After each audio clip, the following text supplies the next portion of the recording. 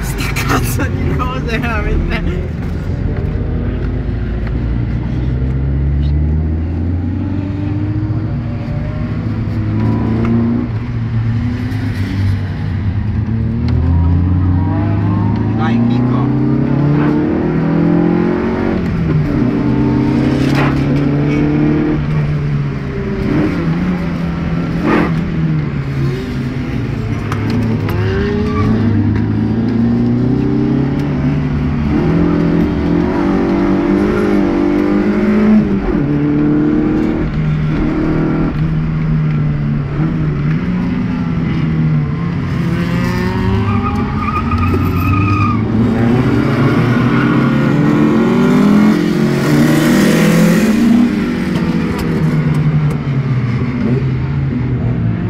E beh, Eh, l'ho lasciato andare, eh.